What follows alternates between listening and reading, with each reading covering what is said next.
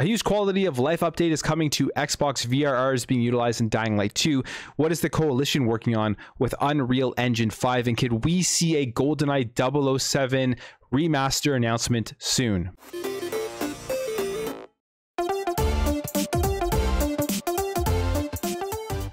Welcome back to another video guys. If you enjoy daily content, make sure to hit that subscribe button. So one of the best features by far with these next generation consoles is on the Xbox Series consoles, and that is Quick Resume. When this first was announced, people were excited, but there was also a lot of skepticism that this was just going to be another kind of marketing thing. And one thing we can pretty much say now with a lot of the marketing terms that were used with the Xbox Series X and S leading up to the launch is that they are actually great features that really improve the quality of life of using the Xbox Series X and S. I absolutely love Quick Resume. I don't think I could ever go back to playing games on a console without it. Honestly, it's that good. It really is so quick popping into different games that you have played right where you left off and just super snappy with the SSD and everything like that. But there have been issues with Quick Resume since the launch of the console. Sometimes it doesn't work. Sometimes games just randomly don't go into Quick Resume and it's it can be frustrating especially if you're expecting it to be there and then you go back onto your console and you have to reload the game and maybe lose where you were in that game and go back to the latest save but they are looking and they've always been looking at fixing it updating and making it better and there's already been improvements for quick resume but we have one that is going to be coming now that i think is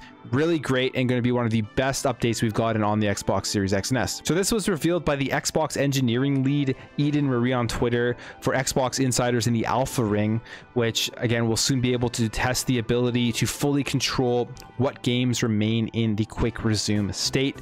So you're able to actually pin games like your quick resume bar this was a feature that was added on after the launch and see exactly what games are in quick resume. You click here you can see the picture. You can hit that pin button says keep in quick resume. And then you're going to be able to kind of select two games that are always going to be in that quick resume state in your pinned quick resume bar. And then besides those two that you've selected to put into quick resume permanently there will still be the other ones that are going to be able to come in and utilize the feature. So this is a great thing because, I mean, for a lot of people, two games on the go is probably more than enough to have that quick resume state. Plus, you're still going to be able to have the other ones popping in and out. But if you have two main games that you're playing, you want to make sure that they don't lose the state in quick resume. You're going to be able to pin that there and hopefully without any glitches or anything, be rest assured that if you turn off your console, if you unplug your console, move it to a different TV, which is something that's super cool, the quick resume state will still work for those games. Okay, jumping over here to another one of the best features available on these consoles, and that is VRR. is currently available on the Xbox Series X and S, and it's supposedly coming over to the PlayStation 5. We just don't know when. We haven't really heard anything new about that, but it's a great feature that allows you to play games without screen tearing and just super smooth up to 120 frames per second if you have a display that supports VRR. Now, this has been applied to Dying Light 2, and this is a tweet here from Klobrille saying, the VRR unlocked frame rate mode introduced today to the Xbox Series X version of Dying Light 2 is a true game changer. Varies between 80 to 110 frames per second, feels a lot smoother than the standard 60 FPS. More games should embrace VRR and offer optional unlocked frame rate modes. So that's great because I mean, VRR gets you that up to 120 frames per second, in this case 80 to 110 frames per second, but still more than the standard 60 that comes, I guess, with this game. Now there's three modes within Dying Light 2 in terms of the graphical settings, but I hope to see more games have the optional unlock rate modes added to those games and support the VRR feature because I think it's just an easy way to give people who have these, I guess, more premium displays or these more expensive ones that support VR just the best experience possible when playing these games. Sticking on here from another tweet from Klobrille, we have information. I think we've known about this for a while, but it just goes further into the fact that the coalition is working on an unannounced project on Unreal Engine 5 and that this has been in development since at least September 2020 which means it could be Gears or something else. And in May 2021, they announced that they were working on multiple projects. We see here kind of a posting of a gameplay producer and what they're doing and how they are working with Unreal Engine 5 with an unannounced project So there's a lot of speculation as to what this could be.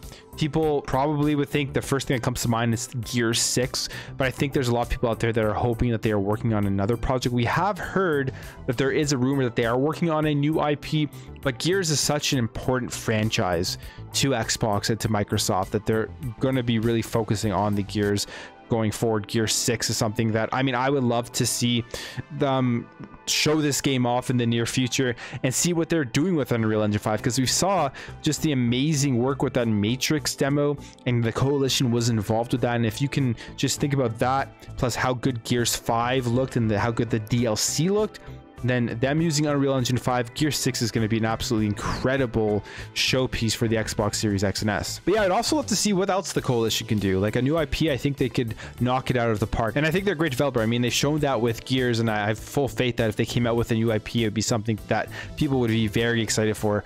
So I'm kind of on the fence. I absolutely love Gears of War. It's in my top five franchises of all time. A, a huge fan.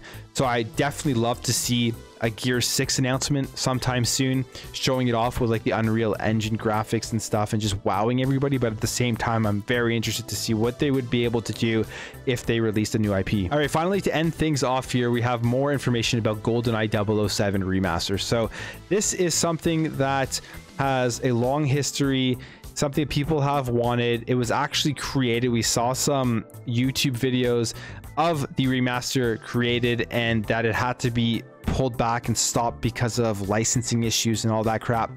But we are hearing here from Jeff Grubb that it may be on its way. Now, here's what he says. I think that Microsoft is going to be the one to announce that first. I think this game is probably coming pretty soon. I think next couple of weeks. Now, it would make sense that Microsoft would announce it because Rare is an Xbox game studio and they developed GoldenEye 007, so that makes complete sense. But you have to work in Nintendo, MGM, and Microsoft all to come to some sort of licensing legal agreement for this game to be re-released and remastered, maybe remade, who knows, for them to make an announcement and then put it out there. Some of the theories that are going around that, hey, this is going to happen because Nintendo now wants to put GoldenEye out with their Nintendo Online. Right now, they're putting out like N64 games, and adding GoldenEye into that mix would be a plus for them and a good business move for them. So they'll agree to do that and then uh, i guess agree that microsoft and rare are going to be able to put out the remastered version of this game now what else kind of makes this more believable that this will happen is one i mean the game was already pretty much remastered for the xbox 360 until it got canned and we saw the achievement list. I mean, this is an achievement list that came out on True Achievements, and it literally is showing this game, and it, looks like it relates to the remastered version because the achievements are exactly what the original game areas would be like. It's nothing, no remake, nothing new. So it could happen. I would be interesting to see it happen. I think GoldenEye with a remake or remaster would be something that I would play through it just for the nostalgia factor of it, but they would really have to improve the controls on it. And what we saw from the actual remaster YouTube video that got put out was this. And I mean, it looked pretty neat. It looked like it was upgraded. It was something that would make the game more enjoyable overall. And they just fixed the controls. They have the dual analog sticks in there. It would be an experience that would be significantly better than playing on the N64 because that game on the N64 when it first came out, tons of nostalgia. I mean, I played it all the time with my friends, but if you go back and try to play that thing now, it's just not a very good game. So we definitely need a big update. Anyways, guys, that's it for me. Are you excited for this quick resume update? Thoughts on VRR, thoughts on GoldenEye, as well as your thoughts on the Coalition and what they are potentially working on next with Unreal Engine 5. If you enjoyed this video, make sure to hit that thumbs up button. You're new here. You like what you saw throughout this video. Appreciate you hitting that subscribe subscribe button and help this channel grow. Thank you all for watching. Thank you for your support. I'll catch you in the next video.